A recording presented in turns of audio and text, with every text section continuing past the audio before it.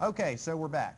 Um, so this is going to be somewhat short, um, but I think it'll be pretty straightforward and pretty, uh, uh, pretty uh, basic. So what we did just now is we computed a comprehensive suite of distribution factors, and we basically arrived, when it was all said and done, at two numbers for moment and shear, a distribution factor of 0.86 for moment and a distribution factor of 0.952 for shear. Okay? Now, um, where do we use those? Okay? If you recall, I showed you all this program a little while ago, this LEAP Consys. Um, let me check something real quick. I think the units might have gone back to SI. Oh, no, they did. Say Okay. All right. So if you recall, I showed you this program, LEAP Consys, and, and what this program is is a way of very rapidly and quickly doing structural analysis for bridges. It'll do all the influence line and moving load stuff. So it's pretty basic. Um, all you do is this. Um, once you go through and define your beam, which we had done this uh, a while back, we went and you know, it was a two-span bridge, 90 foot long, threw in uh, each of our moments of inertia. The only thing I would point out is I'm doing, in, in this uh, file, I'm doing a short-term composite uh, analysis. So if you look at my moments of inertia, they're not the steel-only moments of inertia. They're a little higher. I'm using the short-term composite moments of inertia. So if you go, like for this positive bending region, I'm using what, 48,795. If you go to my section properties, go to positive bending, you know, for an exterior girder, moment of inertia, 48,795. So you see where that's coming from. So I'll show you what I've, what I've got here in this table. So I go to loads, and you know, I might just delete all these out just to show you how this works, because it's really simple. Um, I'm going to delete all these out. Okay. So I, once I define the model, it's really this simple. I go over here on the right, and I go through my basic loads and figure out which ones I want to do. So if I want to do an analysis of the design truck or the design lane or the design tandem, let's take the truck. I take the truck, I drag it over, I right click, I hit view results, and that's it. And it's pretty basic. You know, it went through, it, it divvied up the structure into tenth points, it drew an influence line for every tenth point, it then went through and, you know, uh, determined the maximum and minimum truck placements, you know, for maximum minimum moments, maximum minimum shears, and did that across the board. All right? That's literally all this is. In fact, if you want, you can, um, let's see, I never really do this, but you can go to influence lines and literally hit play, and you can watch the influence line sort of go down the structure. So, so far, so far, so good. So, I go to loads, view results. I can look at a report and it's generating the report. If I zoom in,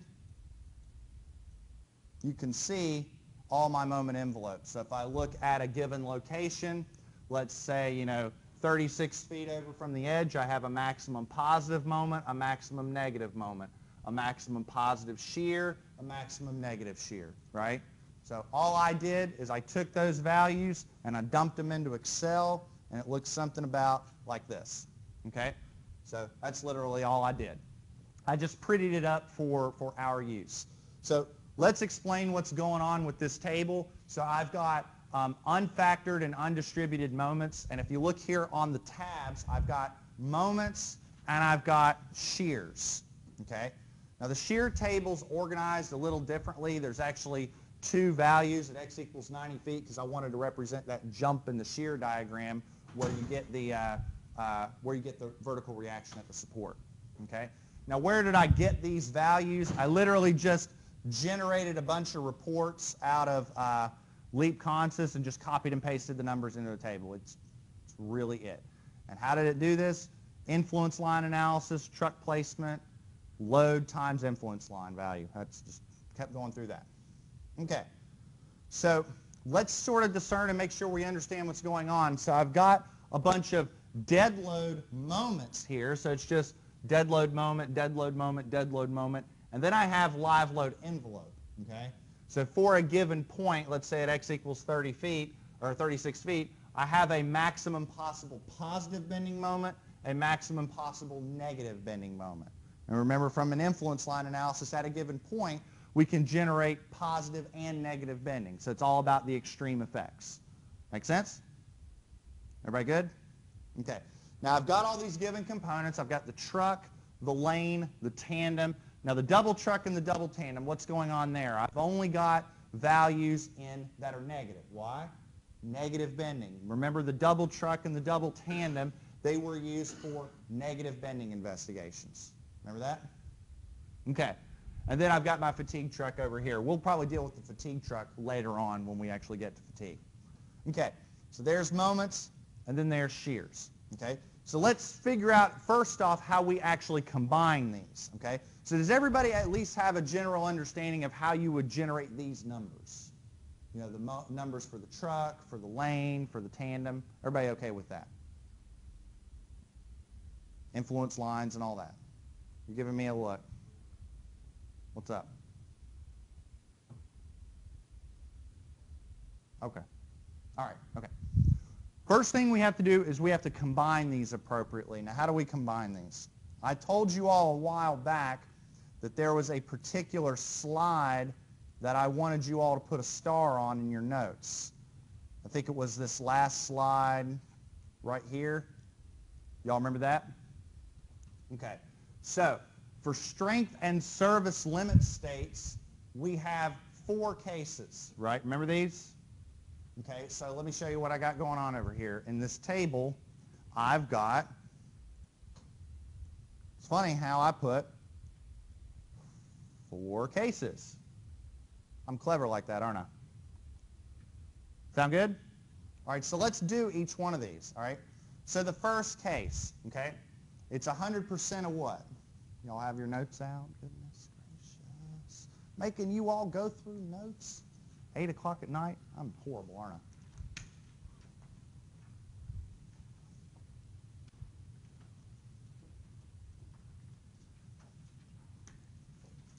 Now, keep in mind, a lot of software programs will just do this for you, but I want you to understand what it's doing and why it's doing it.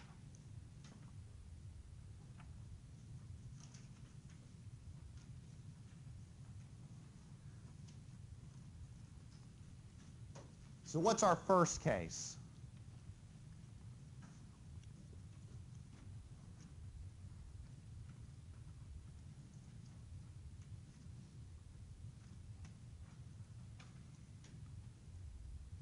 What we got?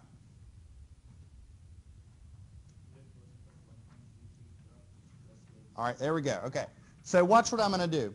I'm going to say equals 1.33 times I'm going to scroll over here, 1.33 times the truck plus the lane. See how I did that?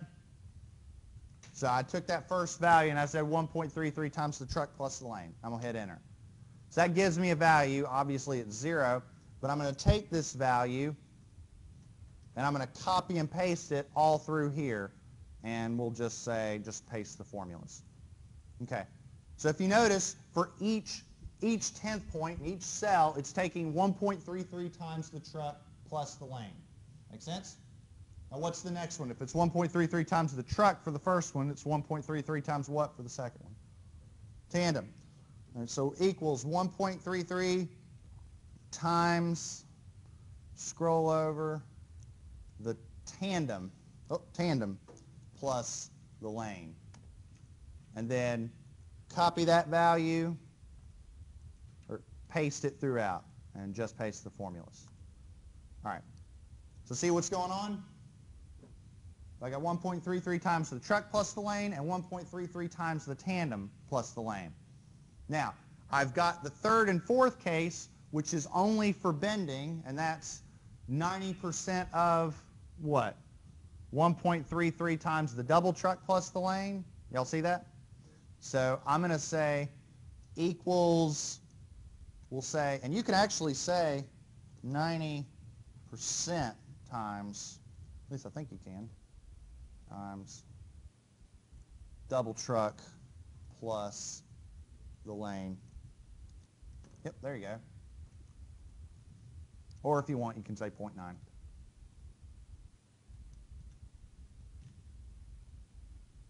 Now you could say, well, I thought that was only for negative bending. Well, look at your double truck values. There's only negative bending values there. And then we've got equals 1.33 times the double tandem plus the lane. Oh. Everybody good? So take that. Paste the formulas. Okay. So the next thing I need to determine is which one of these cases govern. So if I'm the engineer, I want to pick the worst case scenario. So look, I've got a series of positive values and a series of negative values. Let's look at the positive values first. What would be the worst case scenario from this column, this column, this column, and this column? Be the maximum, right? Sound good? So I'm going to say equals the max of, what do I have?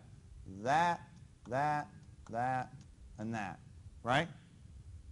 So that'll give me the largest positive bending moment that I can get from live load or from my live loads. Sound good?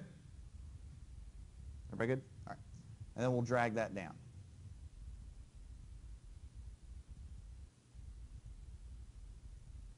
Now, okay, that's for the positive values. How would I calculate it for the minimum, or for the, the negative ones? I just told you. And the minimum. Well, we would need the minimums, right? Yeah. I sort of let that one slip. Whoops. So we would say equals the minimum of case 1, negative, case 2, case 3, case 4. So this is literally the worst case scenario. Sound good? Drag that down. Okay, so what's going on in this series of columns right here under governing is this is still what we would get out of a computer analysis, you know, a line girder analysis, drawing 20 kips on a beam and drawing a shear and moment diagram, what you all learned in Structures 1. That's all that's going on here. Now there's a lot of numbers, but that's basically it. We then need to take those moments and turn them into real life moments, okay? And that means distributing them, which means using a distribution factor, figuring out how much of this moment goes to a particular girder. So we then go to our distribution factors and say, what was the worst case distribution factor for moment? And what was that? For moment. What's that? Yeah, no, I mean what we calculated. When we went through and did all this massive set of calcs, what did we get for moment? What was the worst case? Is this 0.86, right? So what I'm going to do is I'm going to say 0.86, 0.86, and I'm going to copy that number all throughout. All right, see what I'm doing there? All right, now, if we had gotten a different value for negative bending, I would put a different distribution factor in right here. Why those cells? Because those are the cells around the negative bending. Does that make sense? So I would have, you know, 0.86, 0.86, 0.6, and then maybe 0.9, you know, or whatever. Make sense? All right. I then need to distribute this governing case right here to obtain the actual ones I can factor. So how am I going to do that? I'm going to take this column, multiply it by the, distribute, or the distribution factor, and I'm going to take this column times the distribution factor. See what I'm doing? Sound good? And then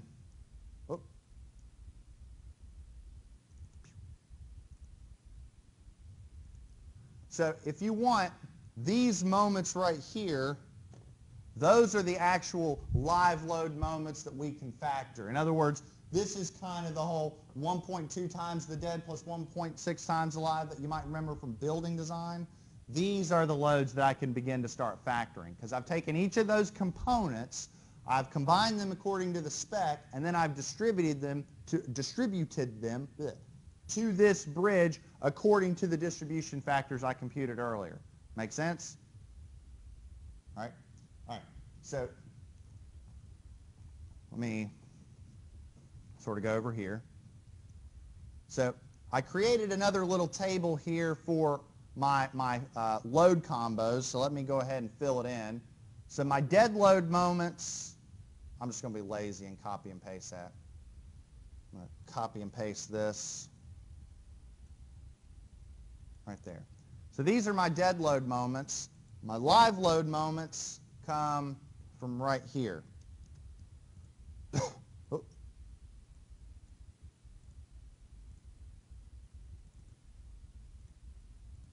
Okay. So here are my dead load moments. Here are my live load moments, right? So now I've got to factor them. Do I do 1.2 times the dead plus 1.6 times the live?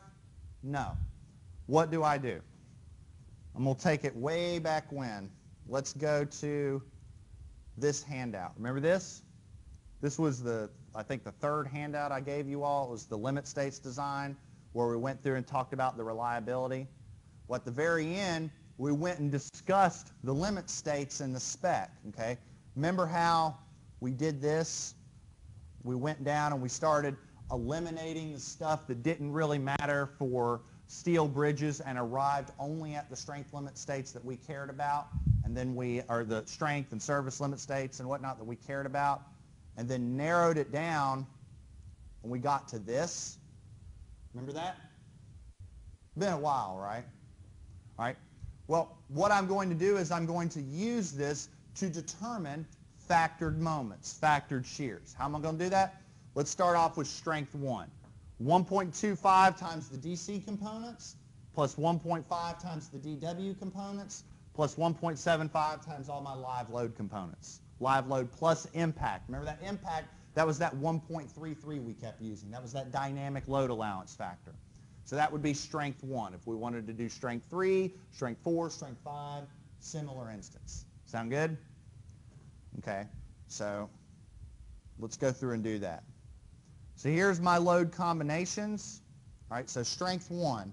So what do I do? I say 1.25 times DC. So I've actually got two DC components. So I'm going to say DC1 plus DC2 plus 1.5 times DW plus 1.75 times my live load. And since I've got an envelope, I've got positives and negatives. i got to do 1 uh, let's see, come on.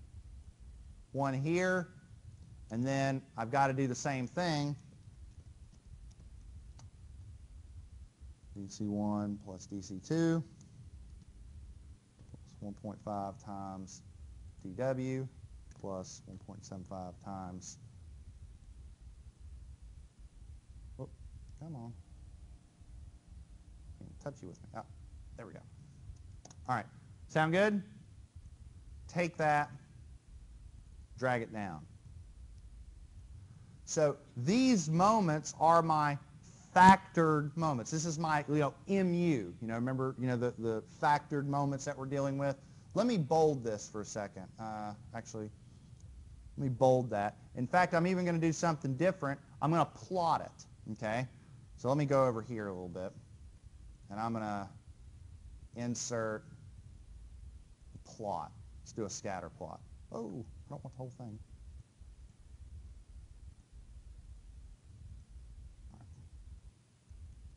So let's add some data. So I right-click, select data, and I'm going to add two data series. So we're plotting x, y data. See, here's my x coordinates. Here's my y coordinates. So let's see. All right, so the x coordinates, here's along the span y coordinates, let's do the positive moments.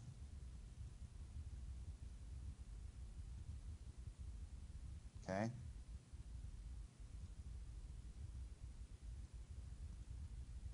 X coordinates.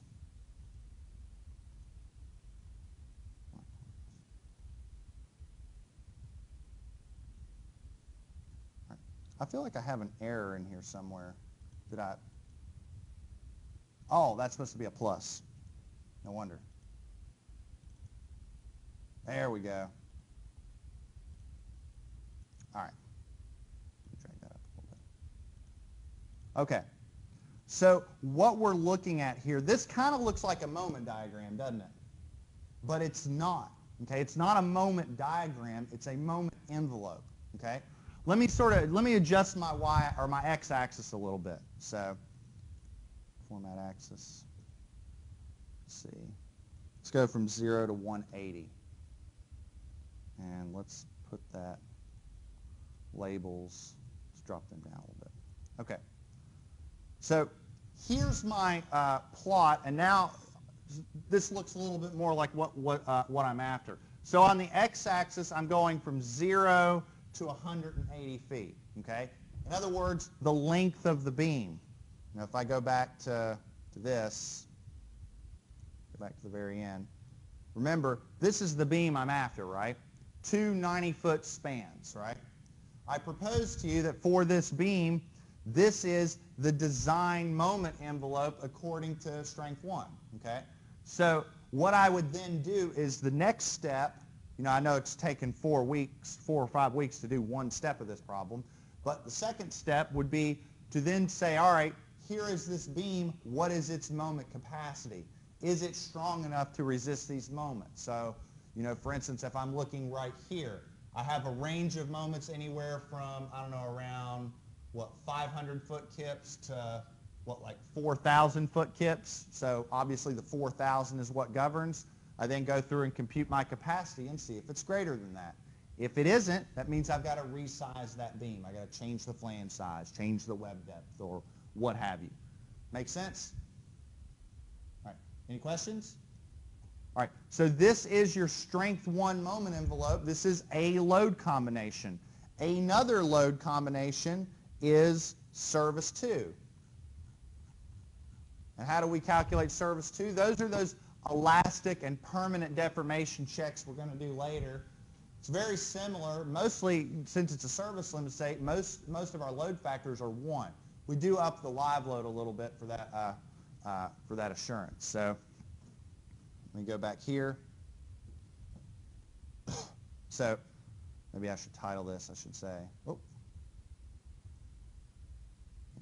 strength one moment envelope. And if I want, if I want to be technical, I can say, all right, let's add some axis titles. Say, you know, this is the distance across the beam, and it's in feet. And this is my moment, and it's in foot kips. Yeah, something like that. Okay. Sound good? All right. Now for service 2, it's very similar. It's just a different load combo. Because for service 2, I just say add up all the dead loads and take the live load and multiply it by 1.3. Oh, 1.3 times that. There we go. And then for service 2, for the negative, same thing. That plus that plus that plus, oh, I did minuses. Plus. Plus. Now looking at this keyboard, it's like, with this light, it's really, you know, I can barely read it. Oh, Okay. So because the load combo is different, obviously the moments are a little lower, but it's because we're doing a different type of check when we do service two, and we'll look at that later. Sound good? All right. We can do something very similar with shear. The shears are actually, there's a lot less going on. See, if you go to the shear tab, if I go to the distribution, there's no case 3 and case 4. Why is there no case 3 and case 4? Remember, case 3 and case 4 were for negative bending regions, right? We're not talking about bending here. We're talking about shear. We only have to do case 1 and case 2. So I can fill this in pretty quickly. I can say, all right, for case 1 equals 1.33 times the truck plus the lane. Notice how there isn't even a double truck or double tandem at all, okay? The way these software programs work, they don't even report the shears. You don't need them, so... 1.33 times the truck plus the lane, and then I can go ahead and do this one, equals 1.33 times the tandem plus the lane. Drag that over. Drag that over. And then, all right, so went ahead and computed that. Got to compute my governing. So for the positives, I'm looking for the maximum shears. And for the negatives, looking for the minimum. And again, if I'm going kind of fast on the Excel, you know, you can always go back to the video and replay it over and over again.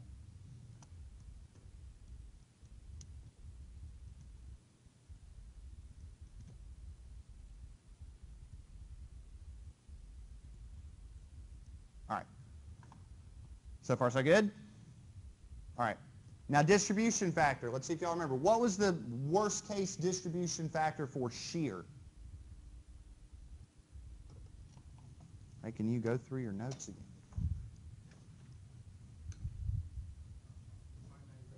1.952. There we go. So 0.952.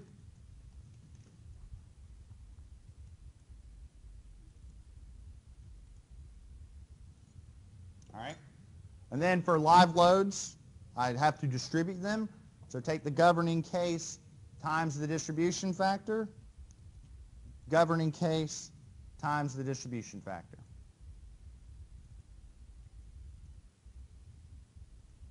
Right? Now we got to do a load combination. So I'm going to go ahead and just copy and paste these shears over because I'm lazy, don't want to do the formula. So copy and paste those. The live loads, those equal that.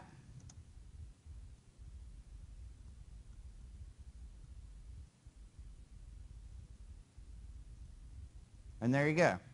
All right. So the last thing left to do is to do a, uh, uh, a load combo, and I'm only going to do strength one. It's the only shears I need right now. You don't need to do a service check for shears. We'll learn that later. So same load combo equals 1.25 times the DC loads, excuse me, plus 1.5 times, or I don't need the parentheses, the DW plus the 1.75 times the positive shears. Come on, there we go. And then I can actually just copy and paste this formula. I'm using Control C and Control V to do that quickly.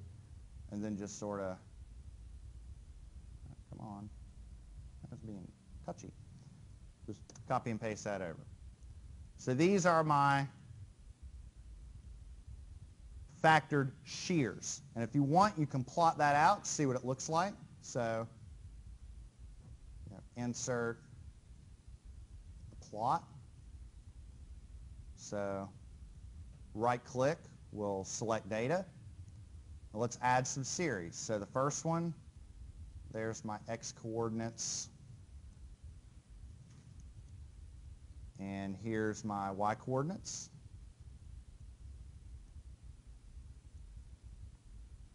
Second one here is my x coordinates. Here's my y coordinates. So there's your shear diagram. Let me change my axis up a little bit. So I'll right click, format that axis, make it go from 0 to 180. Drop those labels down so I can actually read what's going on. And there we go. So here is your factored shear envelope. So we'll use this later on to determine whether or not the web is sufficient in resisting the shear, and if not, we will use it to space out stiffeners, okay? So we'll determine how, how far apart do we need to space stiffeners, okay? Sound good? So yeah, so for a given point, let's say at the, the abutments, we have to resist a shear anywhere between you know, 250 some kips and about 54 kips. Obviously, we're going to use the 256 for purposes of design. Make sense? This is what a software package does uh, to compute moments and shears for purposes of design. We're then going to take these moments and see whether or not the, the girders are appropriate or appropriately sized to resist them. Sound good? All right. This took a little bit longer than I thought, but I, I'm glad I took my time and went through it slowly. I gave you all some handouts today, but you know what? Let's just not look at them. We'll look at them next week. Because next week what we're going to do is we're going to stop talking about these loads so much and start getting into resistance. How strong is the girder? Is it strong enough to resist these loads? Just like with uh, section properties, we are going to sort of take a step back and do some fundamental calculations before we get into the behavior. So we'll take our time with that. But this was, I know, a, a, a grueling set of calcs. So we'll try and do our best to calm down a little bit on it. All right, sound good? All right, that's all I got for you all. You all have hung in there quite well uh, with this. I know it's been a long set of calcs. We'll see you all next week.